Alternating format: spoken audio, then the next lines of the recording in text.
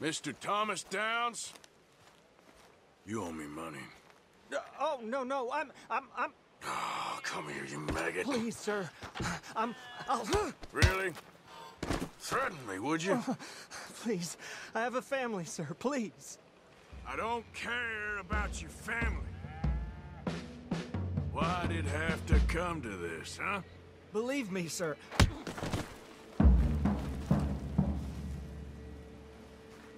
You ain't such a do-gooder, are you? If you're running out on debts... I'm... I'm not... I'm... I'm not...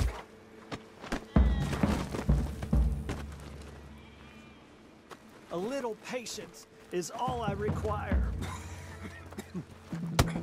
We took your word.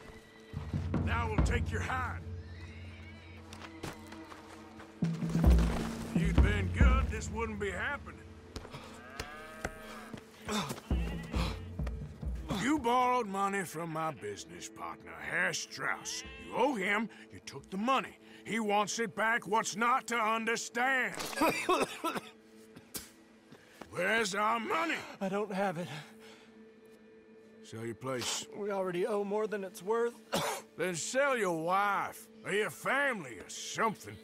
We ain't your idea of charity. Clear? Thomas! what are you looking at? Thomas! I said what you looking at, woman. My husband isn't well. If we could just have more... Like I said, we ain't nobody's idea of charity. Get us the money.